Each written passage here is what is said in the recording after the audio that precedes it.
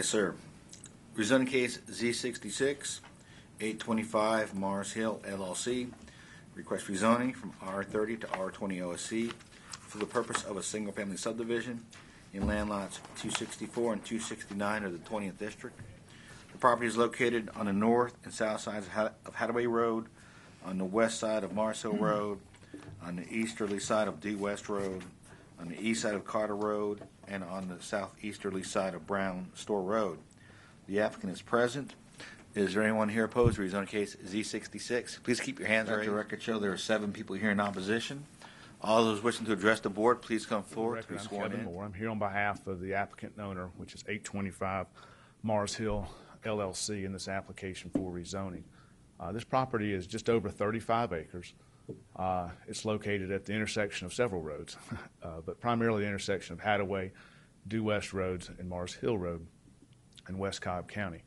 Uh, The application seeks rezoning from its existing category of R30 uh, to R20 OSC, or Open Space Community, uh, which we think will be uh, very valuable and beneficial, not only for the development of this property in a manner in which it can provide both benefits to the residents that will hopefully live here, uh, but benefits to the surrounding area in terms of what it can provide uh, in terms of development techniques uh, and preservation of meaningful open space uh, that provides for uh, what we think are visual enhancements, which are really visual preservation uh, of this particular area. And as you can see from the overhead that's now on your screen, the property is not wooded. This property was a was really a working farm for many many years. Um, uh, the family that owned a large part of the property in this area, the Brown family, uh, ran this farm uh, and ran it as a farm for many years until just recently when they sold it. Uh, the first thing I want to show you uh, is uh, a, a site plan uh, that was developed as a R20 plan. This R20 plan demonstrates how regular R20, and it could be R30 development, it would just simply be less lots. This is a total of 58 lots that is that would be uh, could be developed under this property uh, that meets all the R20 standards. Uh, as you know, but some others may not, when you develop under uh, straight R20 or straight R30 type standards, uh, lots can be in wetlands, lot, lots can uh, be in stream buffers, uh, you can fill in farm ponds, and you can do those types of things to create the lot space under R20 or R30. It's just a matter of the number of lots that you would have. Uh, but you end up with a very straightforward uh, vanilla arrangement that does not take advantage of what could be preserved and what could be done uh, with this property. And with that, I want to show you now what our open space plan looks like. And he's going to turn that to the board, and I'll step step over there so I can highlight uh, what we think are some of the advantages and many advantages uh, to uh, this plan. That's it. Yeah, just focusing on this. So let me orient you uh, now with, uh, with this proposed OSC, or Open Space Community Plan. Uh, This is Hadaway Road and its intersection with Mars Hill here. Uh, This is the intersection with Due West Road here and with Carter Road down here. So you can see this property does have um, a plenty of, of uh, road frontage. Uh, What's proposed here is a total of 55 lots. From a density standpoint or a net density standpoint, that's 1.65 units per acre. But what you will see is, and we'll go into further detail in a minute with that, is a preservation of open space, meaning preservation of this existing pond so it creates a water feature, so it creates a benefit uh, to the community in terms of value and in terms of marketability, uh, as well as preservation of this uh, portion of the tract that stretches along Mars Hill Road. Again, by preservation of open space, that means it's undisturbed open space except for installation of uh, passive uh, walking trails, which means that are in keeping with the woods or with uh, the ground that is there uh, along this area to connect in. In addition, we have uh, a large amount of open space on the other side of Hadaway Road. This is open space that is created at the intersection of Due West and Hadaway Road, as well as stretches back through the middle of this tract, uh, where you have a protection of a very, very small stream, but protection of uh, some existing wetlands here as it feeds in and goes downstream on Mars Hill. And you also have open space that's going to be protected there at the intersection of Mars Hill and Hadaway Road as well. Uh, what what that is doing though is preserving what we think is a visual uh, aesthetic that's beneficial to this area. Uh, if you drive Mars Hill and Hadaway and Due West roads, what you will drive and see today is large areas of, of open space here, large areas of, of undisturbed open space along Mars Hill. Those will still be the case once this would be developed under this plan, so that visual preservation is available. In addition, what we have added to this and agreed to as part of our stipulation letter is extensive buffering. Along Due West Road in this area here, there's an existing stand of trees, almost planted, beautiful trees that are right along the right of way there. It incorporates also a split rail fence that comes along this area here. Uh, by use, utilizing OSC techniques, we're able to preserve those trees, and those will remain. Uh, we're able to save that stand of trees, which is beautiful and which really marks this area, uh, as well as that fencing. Uh, we're able to do that by placing these lots here, which face out onto Due West Road, which is also similar in nature to some of the other homes that are along this area. And we're able to just have a single driveway access point that comes around and then comes out behind the trees. And that way, those trees are preserved as well as the fencing, so you have that uh, visual preservation again. And then also what we're doing is implementing a minimum 20-foot landscape buffer on the road frontages. Like I said, this property has significant road frontages, and so we have an extensive landscape plan that goes around the perimeter along these many road frontages, which will have heavy planting in keeping with uh, that same style uh, with split rail fencing as well, as well as uh, additional landscaping buffer and pres- preserve landscape perimeter buffer uh, in this uh, rear corner. Now, what I'd like to do is go into the detail of those buffers because I think it's important and certainly important to the visual present preservation of this tract. First, if you'll just do that one. Uh, the first board is taken as a photo, and you can even see the zoning signs. Uh, and that's the trees I'm speaking of for, for those that may not be familiar. Uh, those are the trees that are along Due West Road that will be preserved, and you can see the split rail fence here, and you can see it's very difficult to see, but we even superimpose on the background. You can do that with digital photography where houses would be. So you can see that the houses would be set back behind these trees so that what people see today, they'll see tomorrow upon development. Uh, by utilizing those creative techniques, these trees and this buffer stays along Due West Road.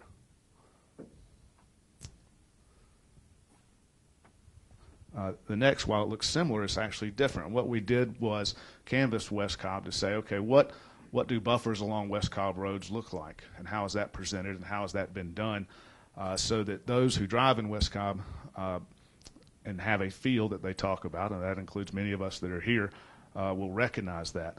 This is the uh, the roadside buffer that we were speaking of, the road frontage buffer that would be planted. This is one that we found, and this is one that we would be emulating uh, for our purposes, and that's set out uh, in our stipulation letter with a specific landscape plan with uh, the numbers of plant materials and trees. And this is what that buffer would look like once it was planted. It incorporates a split rail fence, also incorporates um, some berming where appropriate so that you have extensive buffering along the road frontages. That not only helps the surrounding community and residents, it also helps those that will be living there. As I said, many of these homes, by nature of this property having so much road frontage, uh, will have uh, homes that are road that will have road frontage protects them as well, those future residents, and adds value to their homes as well as value to the surrounding area.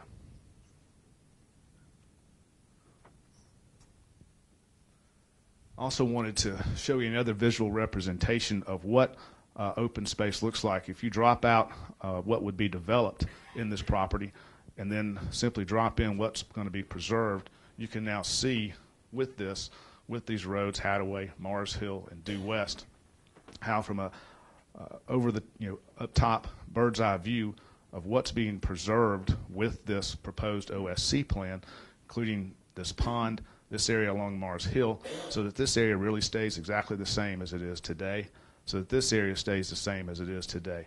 And that really provides, again, visual pre- preservation for the community, but also provides uh, visual amenity of open space for those new residents. Lastly, it's a little bit smaller board. If you can, you, can you get that? It'll be easier if I put it up there. In terms of density, uh, what we're proposing is 1.65 units per acre of 55 lots. This area is dominated by several categories. There's lots of undeveloped R30 that's larger, um, uh, that's not developed as R30, but is just simply acreage tracts that are still zoned R30, like the subject property, which is right here. This is Mars Hill Road and Hadaway Road. Uh, what what you have though in the area, what's been developed has been largely developed as R20, as a predecessor to open space communities, that is conservation subdivision or plan development such as Brookstone, as well as uh, RA5 development, which is right here adjacent to us on Mars Hill. Those surrounding densities are 1.75, 2 units per acre, 1.74 units per acre, 1.75 units per acre, even 2.89 units per acre in the RA5 section. What we're proposing is 1.65 is less than an R20 density, uh, much more in keeping, we think, with recognizing the uh, R30 nature of some of the surrounding area, but also recognizing that the area has been developed as an R20 type density, not as an R30 density. With that, we have a stipulation letter dated July 29th that incorporates all of what I just reviewed with you in terms of the stipulations and the commitments to those detailed landscape buffers. Uh, we think this is an excellent OSC plan, and we think it's a great plan for this particular property, uh, and we would respectfully request your recommendation for approval. Thank you. Thank you, Mr. Moore. Kevin went over by just about 30 seconds, so we'll add that additional time to the opposition uh, to let them take advantage of that. So let's hear from the opposition at this time. Who wants to be first? Somebody come on up. There you go. I'm going to be short because uh, I know other people want to talk. Uh, I live in uh, Browns Farm. Give us your name, please. I'm sorry. Michael Mays, Kirk Mays. Thank you, Michael. I live across just the uh, street from the subdivision in Browns Farm. Um, uh, what I think uh, is proposed is is not in keeping with what is uh, currently um, the different communities that are there. We have uh, right now we have um, during the school time you cannot get out of Browns Farm easily, so we're going to be adding in some other houses that uh, as was shown, uh, are coming out on due west, and that's going to make that just a mess. The other thing that I'm concerned about is there's going to be a the way that the plot is proposed. There's going to be very little separation between um, Mars Hill and where these people are coming out. So you're going to have back to back people coming out onto uh, Hadaway, and I think that's also going to be a ma- nightmare. Um, um, let's see. Uh, um, I guess the other thing, the real comment that I would have is uh, the report says that there's 14,700 vehicles on due west, and currently um, that road is having uh, trouble supporting the traffic. And I'm just um, concerned with us trying to get out of our subdivision and with the um, the traffic it's caused. Thank you. Thank you, Mr. Mays. Next speaker, please.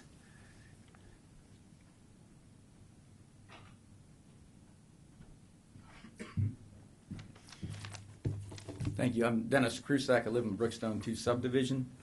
And I guess the point I would like to make is I don't believe this meets the intent of the open space community. Um, in a previous case, there was obviously old growth habitat to protect in streams. We're looking at an old farm, pasture. The area that they're talking about protecting, um, the narrow strip along, yeah, that narrow strip is a kudzu patch. Um, so it's really not open space. It's just going to be a patch that continues to spread. The other large chunk of open space is designated on the plat as their stormwater management. So obviously they can't build there. It's going to be open anyway. You have to manage the stormwater. Um, and I'm not quite sure why they're coming in at R20. If you look at the numbers, um, 72% of those lots are less than 15,000 square feet. 9% are less than 10,000 square feet. Um, I know you can have any size lot in an open space community. It's just almost looks like we're playing games. It's an R20 when it doesn't even come close to an R15. Um, and I think that there's really nothing unique there to protect um, with an open space community designation. There's nothing, no natural resources there. There's nothing historical, nothing cultural. So it appears it's just a way to minimize lot size to maximize housing. Thank you. Thank you, Dennis. Next speaker, please. If any of you folks want to come up and just stand so you can move quickly to the podium, that'll be fine. You can do that. Good morning. My name is Dave Browns from Browns Farm. Um, one of the bigger concerns that we have is we keep flip flopping from R30 to R20. The other concern with Browns Farm is when you look at Due West Road and you look at the accident history right on the road, right across from where Hadaway intersect, intersects with it, we're going to put an exit of, I believe it was 12 homes on the newest plot. I've seen several of them now, but the newest plot would be anywhere from 7 to 12 homes. There's going to be one little road and an access point that comes out. One of the questions that we have is, assuming this goes through, if those homes have children and stuff, will the school buses actually stop on Due West Road or will they pull into the little drive that they're recommending? The garbage disposal and so forth to give an example, today to come out on Due West from Brown's Farm at uh, 7:30 would have taken you about 22 minutes to get out on the road. It backs up almost all way to the Red Rock entrance. So, if they're wanting to do this, we would like to ask the county what they're going to do about the road situation and come and so forth. Then, as we show, we've got an exit that comes on to Hadaway that's also extremely close to Due West, which is going to uh, route traffic that direction. What we didn't see was any kind of proposal of taking these homes that are aligned on the due west area and having some kind of exit that goes back into their own community, uh, such as a bridge going over the wetland area and so forth, and using that area. Then to, to highlight the point that uh, the gentleman was just up here earlier, the, the areas that they're zoning as open spaces and greenlands and everything, they have to be zoned as open spaces and greenland. They're basically trash areas that can't be built upon right now. So we would like it to be relooked at and looked at from an R30 standpoint and no homes coming out on the due west area. Thank you. Thank you, Mr. Brown. Next speaker, please.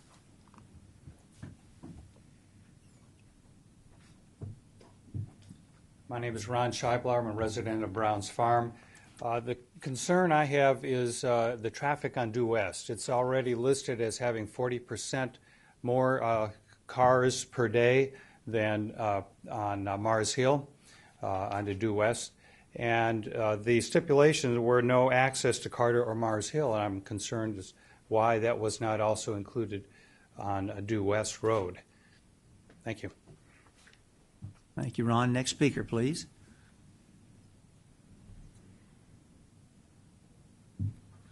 My name is Valerie Rakes, and I live on, uh, in Holland Woods. Off of, uh, I'm at Holland Woods in Due West, and I agree with everything they've said. But one of my particular concerns is that the watershed there, uh, particularly in the lower area, thank you, uh, is going to impact the West Hill subdivision, which which is kind of that little triangular subdivision that's in there. That um, it does have a water reservoir for the for the shed. But um, we live just below that on Holland Road, and that that is a concern. And we're just wondering if that was going to be addressed before we get flooded. Thank you. Thank you, Ms. Reichs. Do we have another speaker? Anyone else? Okay. I keep seeing people up and down, but they're not coming forward, so I think that's it. We'll go ahead and close the uh, public testimony portion, and it'll be back to this board. This is in District One. That's handled by Mr. Gunther. We'll let him lead our discussion. Skip? Okay. uh, I, before I get into a whole discussion, I have a couple questions. I wonder if, uh, Kevin Moore, if you could come back just for a second. There you are. Uh, my question for you is, who is 825 Mars Hill LLC? The, That is uh, the, the, that is uh, the the owner. applicant. Yeah, and, and who, what do they do? Who are they? What's their history? um, his, his their history is it's a uh, individual who uh, and investors who have had um, real estate construction, real estate development experience um, across the broad spec- spectrum. Uh, heavy emphasis on landscape and architecture. Uh, so that that's who it is. It's just a it's a single purpose LLC that you see from time to time. But is it uh, in terms of who is it? It's not a name brand at this point in time. Okay, so we don't have uh, any access to, uh, you know, what they may have built somewhere so we could see what the quality of construction is and so forth Uh, we just have to kind of take it on face value that they're going to be good. As far as their homes that they would build Yes, or the right. development that they would Well, both provide. the development and the. Uh, They're- not a home builder, so they would be partnering with a home builder. uh, Okay, so they're and not That home often builder. depends on once you get entitled, you need to then partner with a home builder. um, 'cause th- so you don't put the cart before the So horse. the, that the time. pictures of, uh, of the, the example homes that are in the stipulation Yes. letter, uh, what do those represent then if they're not a builder? Those represent the uh, pictures of the homes that would be built uh, in this subdivision. What we, what we say is those kind of homes, uh, the homes that we built in this subdivision would be substantially similar in their composition, their architecture, and so forth, so that you get a feel for that. Uh, very seldom do you have the exact. Sometimes you do, but in in cases like this, what's happened often, what you want to do is make sure of what you're getting, and the pictures in the stipulation letter say that's what these homes, the style and architecture will be, and then we further further stipulated as to the materials that will be used and the fact that you'll have a water table that goes around all four sides uh, so that you have that element of assurance and confidence that the uh, quality of the homes will be there. Okay, then one last question on that in that regard. Um, it's not clear to me from any of the, from the stip letter or the pictures uh, whether it's one-sided masonry and so forth that would be on the uh, these homes, uh, or if it's three-sided or four-sided. What what is the plan there? Because it's only a front face uh, picture that I've seen uh, Sure. for the example uh, homes that would go up. Uh, it will be a mixture. If you want to, he can. I've got those set out here. I just, in case I needed to answer those questions, he he can just so everybody can know what we're talking about. You're going to have a, a mixture, a combination of materials uh, that will be carried around. Um, like I said, the the way that we've addressed that in the past is to make sure that you're. Uh, you can see some of the sides there contain siding or other elements uh, of either brick or stone. Uh, there's board and batten, so that you have that attractive look. That's not a rubber stamp look, but one that is very attractive. Uh, in this case, what we've done is said the water table or that aspect of the home as it comes around will be carried around, which is a brick or stone water table, will be carried around to all four sides. Okay, good. Those those are my questions. Um, uh, Jane, I, Jane Strickland, I'd like to ask you to come up just for a second to talk about the traffic issues uh, before I get into uh, the main thing that I want to talk about. Um, and and one of the you know there, there's the issue of uh, traffic on Due West and also on Mars Hill that's uh, you know pretty significant. There are arteries. Uh, it's growing because of just the growth in that area out there. Uh, and also, there's been a, uh suggestion that right there at the corner of Due West and Hadaway, as you're going uh, west on Due West and you want to make a right turn to go kind of northeast on uh, Hadaway, that that's that's a pretty sharp turn. I, I'm just wondering if, and, and suggestion was made to maybe soften that that corner. So could you talk about both those things? You know, the cha- traffic in general, what the plans may be to alleviate some of the concerns the owners out there have, and then what specifically you might do with that corner right there.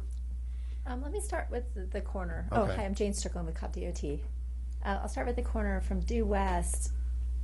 Something was um, suggested to me that I think I'd like to make a revision to my to my uh, recommendations.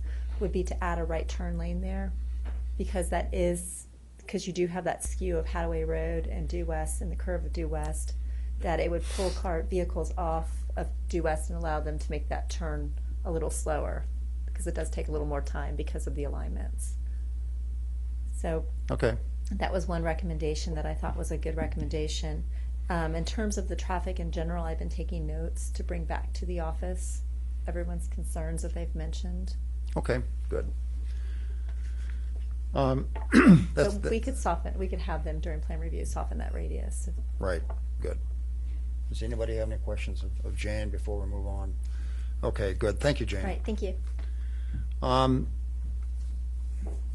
when when I look at this this whole area, uh, it's it's West Cobb, and it's right smack in the center of, of West Cobb. Uh, and everybody in West Cobb continues to talk about the reasons that they moved to West Cobb or they live in West Cobb. They like the look and feel, the character of, of the area. It has a rural kind of a feel. And I think when you look at this piece of property, uh, this contributes in a very significant way to uh, that rural kind of feel because it is rural. It's it's a it's a it's a couple of uh, farm fields, and and that's what you see as you drive up and down Mars Hill and and due west and along Hadaway in that section right there. When when I look at the neighborhoods around, uh, you see some large R30 properties that are well more than a couple acres uh, for with individual homes, and then you see a mixture of R30 and R20, and I, I and I agree RA5 down in that uh, southeast corner of this uh, this area, uh, and then the old PRD. So you see a fair amount of density. Um, by allowing, and this is zoned R30, and the future land use map is very low density residential, which allows for zero to two units per acre. So R30 is typically 1.1 units per acre, and R20 is typically 1.75 units per acre when everything's all said and done with. So both of those designations fit within the very uh, VLDR, very uh, low density residential future land use category. But, and there's a big but here, changing this, this is this is one of the last major pieces of uh, property out here that's undeveloped of, of any significant size. Changing this to R20, which one could argue is consistent with a lot of the neighborhoods around there, uh, still changing that to R20 is going to significantly impact the traffic, the infrastructure, the look and feel. It's going to erode away the character in a significant way, I believe, of the the rural feel that this area has. I think OSC probably the OSC overlay uh, probably makes sense uh, because there is some property in here that uh, parts parts of this parcel that you know could be saved and would allow for um, you know some nice walking trails and so forth. But the R20 part of this bothers me a lot. I'm leaning in the direction. I mean, there there just there are lots of issues with stormwater management and and, and lots of uh, detail kind of issues uh, that are still sort of floating around. But I, I think that I'm leaning in the direction of, of saying that I'd like to see this become an R30 OSC subdivision that would help maintain. It would allow the owners to develop this the way it's zoned R30, but it would help to maintain the look and feel and uh, character of, of this area. Um, I'm concerned about setbacks and buffers.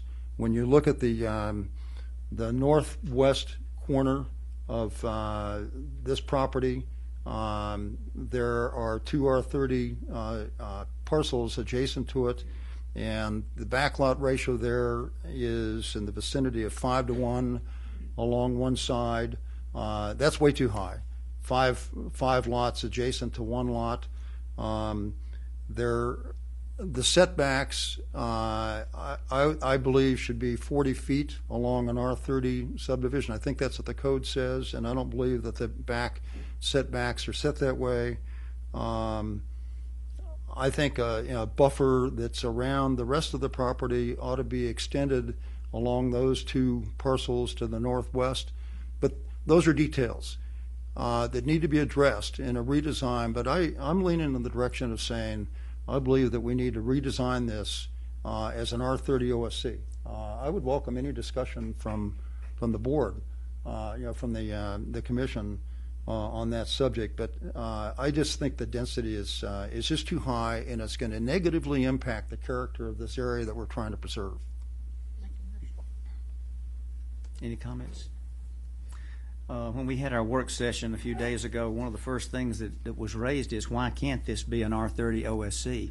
Uh, I thought it could, and I, so I tend to agree with you. And I, if you make a motion like that, I would support it. Okay. Anyone else?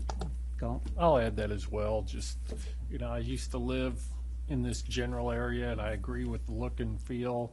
I also think in that area we've seen so much traffic and and load on the infrastructure that you know, bringing a much higher density than what it's already approved for would just create uh, problems, you know, on the whole infrastructure.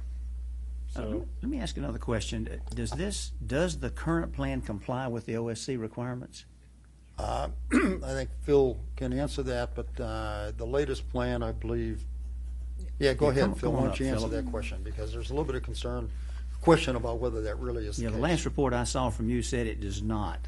Is that still the case? Philip Westbrook, Community Development.